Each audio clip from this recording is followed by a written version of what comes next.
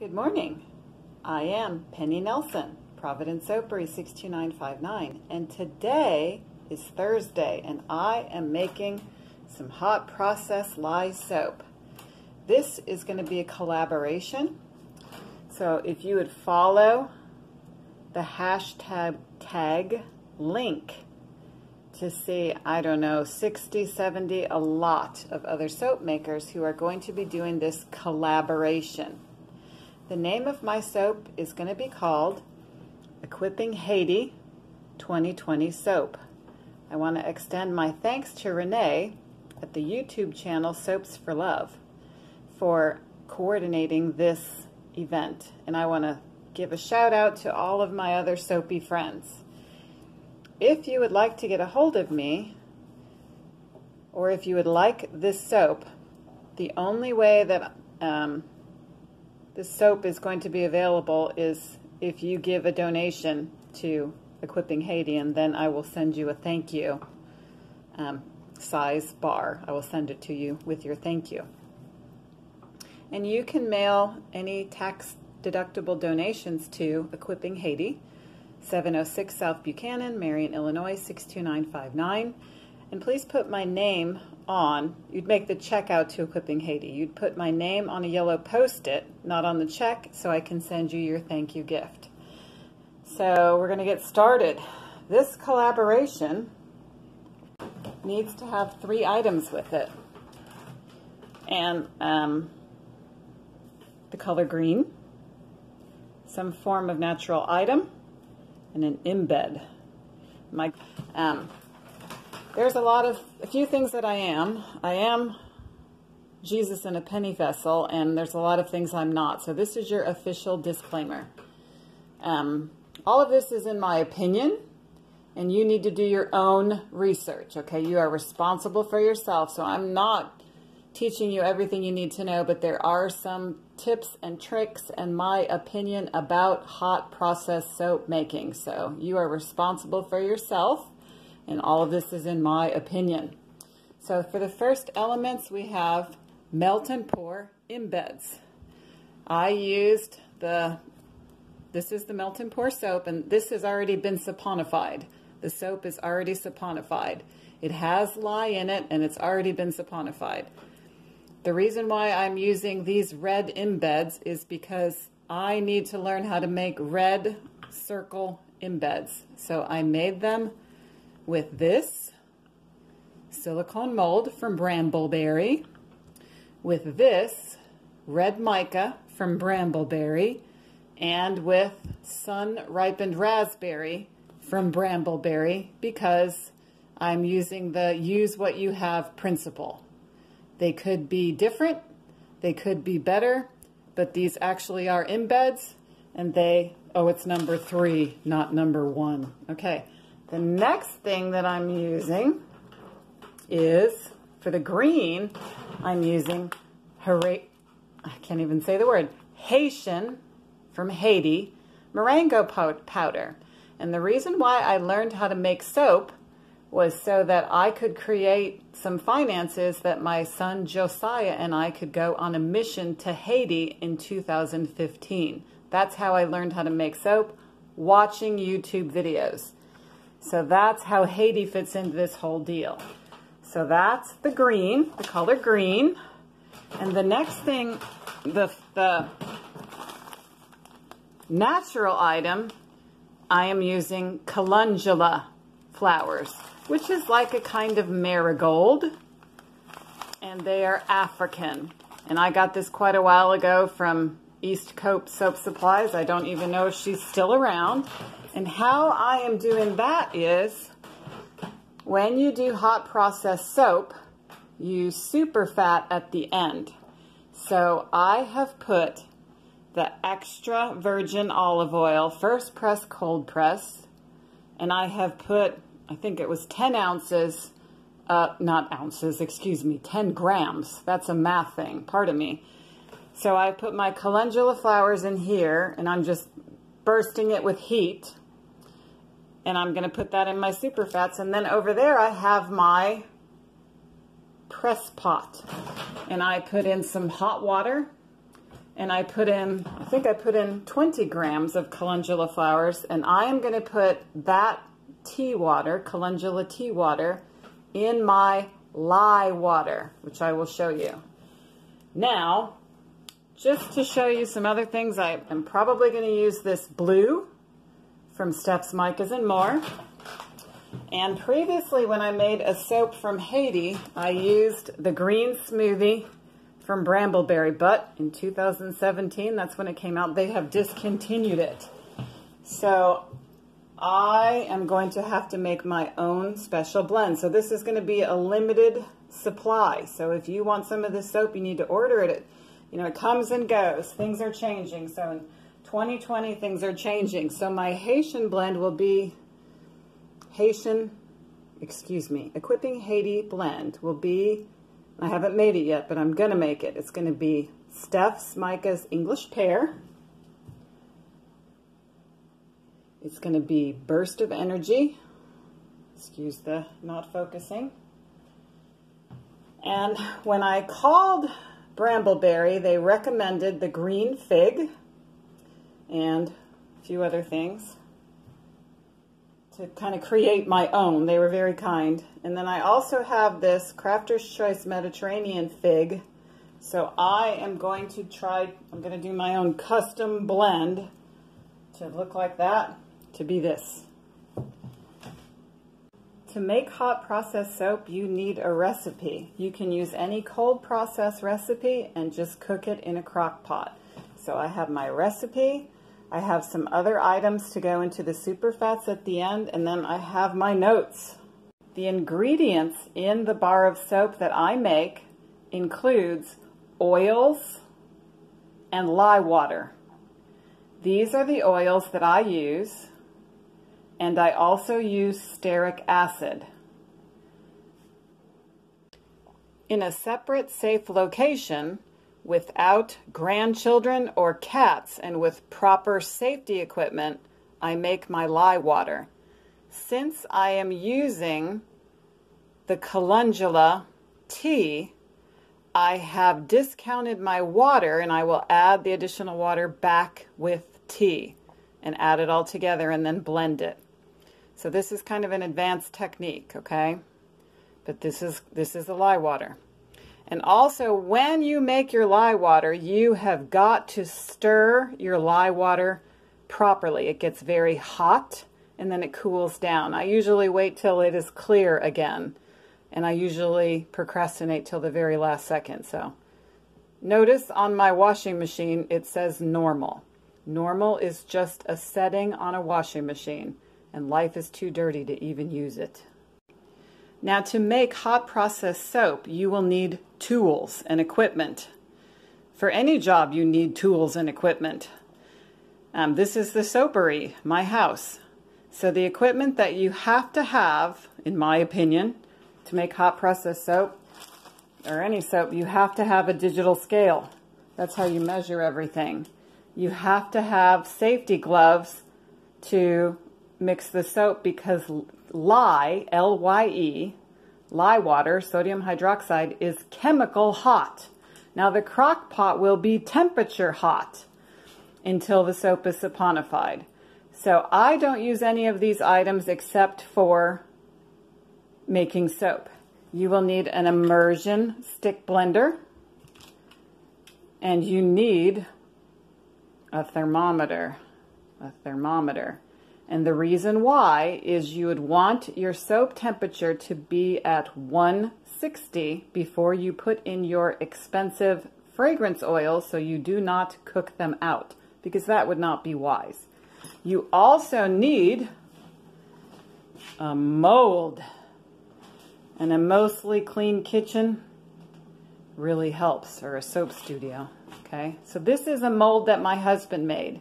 And the reason why I use that size is because this much soap fits in the mold that he made me. So I, so I use my time effectively. It takes me about four hours to make a batch of soap. So I think that we've gotten everything in here, except I do want to thank you. I did want to thank you for joining me. Thank you for joining me. I am so privileged to be a part of this collaboration and I'm so excited to see everyone else's videos. So I'm going to do the very best I can do. I also was supposed to add some inspiration, if I have any, and to be honest, I wanted to make a whole joke because some of the other soap artists are so creative and they're, they're different than me. And it takes a lot of skills to do anything, to make soap, to make videos, to complete a project. So I am not going to get stuck on perfectionism and the inspiration for my soap is complete. it's just complete in a in a uh, that would be a rectangle. A soap that looks like a rectangle that you can actually use and clean you. That is my inspiration. So, but if I was more clever, I would I would make a joke for my friends who make the most amazing art that you have ever seen. So check out some of those other soapers at this hashtag, okay? And I hope that this works out so that I get to edit it. So if not, you'll have to check out another video to see the finished product. So let's hope my, pray, hope and pray, God help me, that the technology works. And thanks for stopping by. Welcome to my home. Love you. Welcome back. I did want to tell you the difference between hot process and cold process soap. I have taken my immersion stick blender and combined my oils and lye water and that's Mara, I'll introduce you. And I had my water and I, woo, and you just fell. And I had calendula tea. So this is a trace and this is chemical hot. Here's a disclaimer. And I am going to cook this for two hours. It's not food. It's chemical hot. It is 337 and it's shh, hush please. I'm going to show you just a minute because I want to go fast. Miss Mara, that's my granddaughter. Let me let me show you to her. Show show her to you. She'll say hello. So this is going to cook for 2 hours. We're going to stir it at 60 minutes, 90 minutes, and 120 minutes. And all of this soap is going to be saponified. When you do cold process soap, you don't saponify all the soap. You use a different recipe. So, and hot process soap, the heat forces the saponification. With cold process soap, it's over a period of time. I don't actually know all the chemical things, but you can't use the soap right away. You have to wait six weeks approximately. With hot process soap, you can use it pretty much right away. It is going to dry more, but um, I'm taking off my gloves. Let me, let me have you say hello to Mara and the kitty. So those are some of the differences between hot process and cold process soap. What are you eating? Um, yeah, Mumsy said don't go near my table. And this is Morris. Can you say hello, Morris? Yeah, he's having a great time. He's a stray. He picked me. Anyway, so I have the rest of my setup here, and maybe I'll be able to when edit. He was um when he was not um the pet for Mimsy, he picked um Mimsy. He did. He was a stray, and he picked Mumsy. Do you know how did he pick me? No. He rubbed his nose on my nose, and he said, "You are mine," with this cat voice. Okay.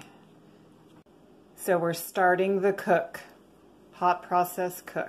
It's on low. All right, we are 60 minutes into the hot process lye soap cooking process. And isn't it a lovely yellowish color? So we're going to stir it, and this is one of my favorite things is to stir it. He's protecting the kitty down. He's fighting with the kitty. My granddaughter Mars over there talking. She's been helping me today. And guess what Lucky is doing? What is Lucky doing? He is. He's protecting the yard. And my old dog Lucky, who's Josiah's dog, he's a Heinz 57. He's a mixed breed. He has become blind. And it's much harder to monitor the yard when you're blind, but he carries on bravely. So we're going to let it cook another 30 minutes. Stir it. Love Lucky. We love Lucky. He is. I'm sad about the blind You're part. si- sad that he's blind, but he gets along pretty well. He gets along really well. We call him old man now. Yes. Cataracts. His eyes are like white. And guess what? He Okay, is let me- nice to Lucky. Yes, he is. Okay, let me tell you about the soap, okay? After it cooks for two hours, that is when we add some super fats. And we are going to be adding coconut oil. We are adding olive oil with calendula leaves, like steeping in it. A little bit of glycerin and some vitamin E. And because all of this is saponified, that's what I was trying to tell you. Cold process, you have a percentage of it that is not saponified. So we can control what we what oils that we use for our moisturizing ingredients. So if you wanted to use a more luxurious or, or expensive oil, you could use any number of items that cost a whole lot more than olive oil and coconut oil and glycerin. So so we'll bring you back and maybe I'll be able to get this together. We are 90 minutes into the cook, an hour and a half, and it's time to stir again. Okay, see how it's cooking more under here? See how that's cooked?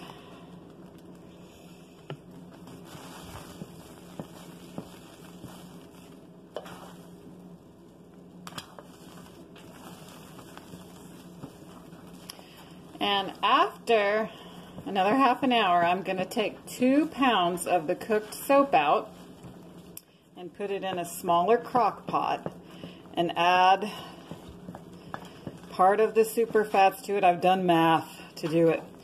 Part of the super fats with the blue mica from Steph's Mica to make it the one part blue. And then I'm going to add the moringa powder, which turns the soap green, to the remaining part. Ow! You know, if you touch a hot crock pot with your skin, it hurts. It burns you. I should be wearing gloves, but I forgot. That's why you're doing your own research. Here's gloves. Oh, Thank you. You can say hello to Mara. Hi. I just told her to wear gloves. Mhm. um, my eyes are burning because of those that soda. Because of the soda. Yeah. Okay, so another 30 minutes. Okay, so I have my olive oil that has, I've been bursting in the microwave with the calendula in it. And so now it's time for me to drain the oil out.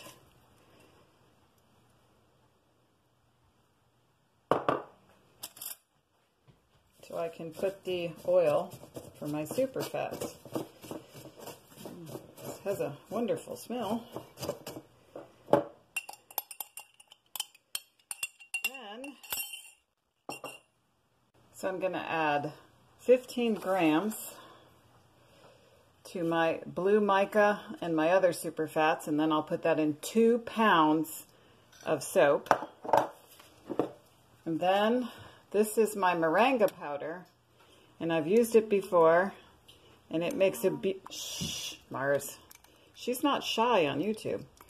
Um, makes a beautiful green and I'm going to put 46 grams in the green. Stop. All right. I'm kind of kind of I'm kind of concerned that my blue is going to turn a different color. So first you have to zero it. You have to lift. So this is the calendula olive oil.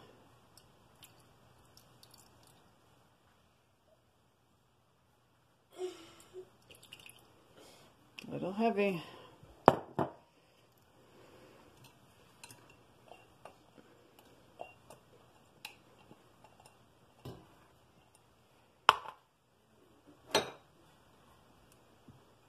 All right, and then 46.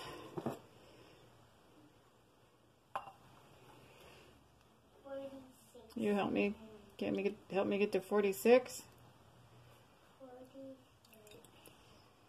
I don't know how to get to 46 anyway. Okay, I've got some left. Oh, too heavy. Ooh, and I got blue in there. oh no. okay. Right. Got blue in my in my that. Okay, so we'll leave this over here. All right. Okay. Mandy didn't mean to do that. Okay, wait a minute. Oh, now I'm confused.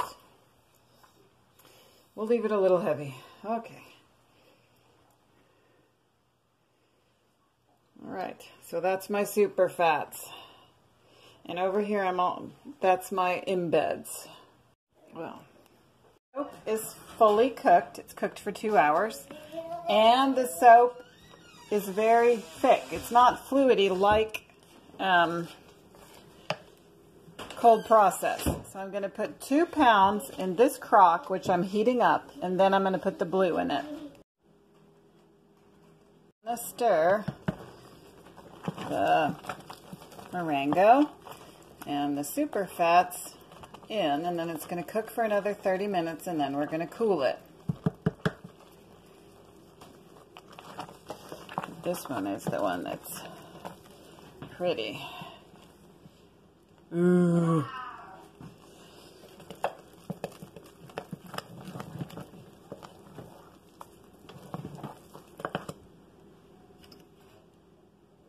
Now, I've never used micas, but what I was saying is hot process soap is more of a country um, style, shabby chic. It's more rustic. I call it country. So it's not going to be a drop swirl. It's going to be a plop swirl. So that's how this is going to happen. So this is on low. It seems to be turning a pretty good blue. The color's not the... It's a pretty good blue. I think there'll be a, a contrast enough.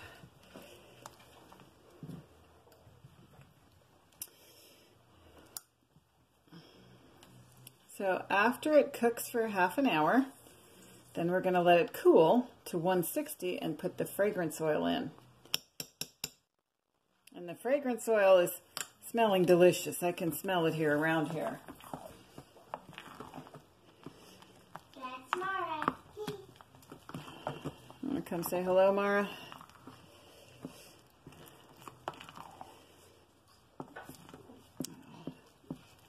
Let's see what we got here.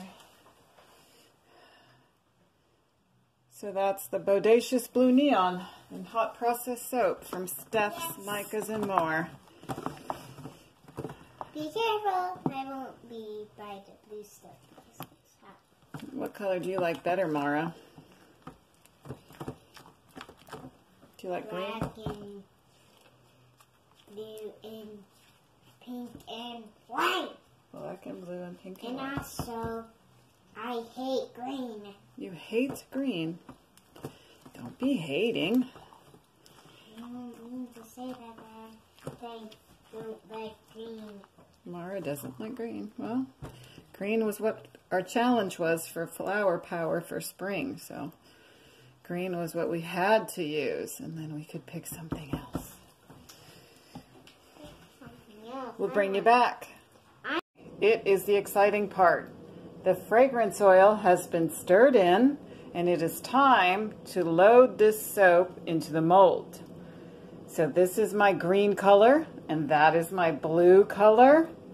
And I'm pretty pleased with it. So now we're going to get it in the mold. And this is what I call a plop swirl.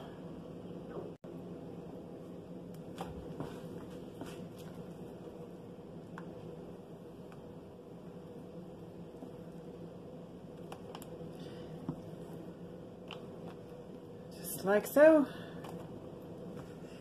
And I'm also going to put, now not every bar is going to get one. It's going to be like a mystery here and there.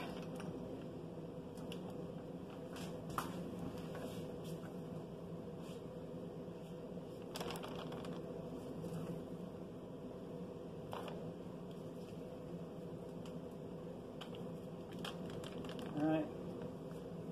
So you get the idea there. It is the next day, Hi. and we are cutting the soap. We have unmolded it, and I am cutting bars. I, it's a very light smell. It is, I'm sorry. So I do have the green with moringa powder. I do have an embed, and I do have blue. blue and pink. It looks like pink instead of red. Ah. And I've done the plop and swirl.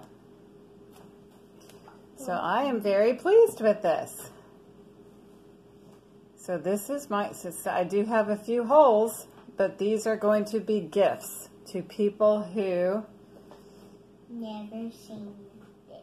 Never seen this, no, who are going to help out the people in Haiti. And you can help the people in Haiti by praying for them, buying soap, or just sending a donation to Equipping Haiti, 706 South Buchanan, Marion, Illinois, 62959.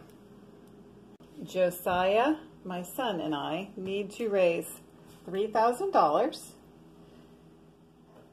We are going in July to do a vacation Bible school and to do feeding. So we're doing physical help and spiritual help. And I just heard something.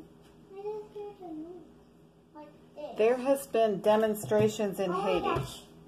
So if we are not able to go, we will still send money and the Haitian friends of ours will carry on the work.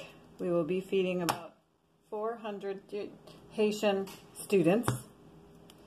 See, I like that. That's actually a mistake, but I think it's character. In Port-au-Prince, and we have worked our church, our group, Equipping Haiti from Third Baptist Church in Marion, Illinois, has worked with these communities since 2012. We wanted to have continuing relationship. So that's just about it. All right, so I'm going to take some pictures and see how my video turns out. So I want to thank you for hanging on if you've gone this far. And uh, I just really have enjoyed this collaboration. This is the most complex soap that I have ever attempted. And I am very happy with it. So it is really wonderful to be challenged. Mara thinks those, some of them look like hearts. All right. Thanks for watching.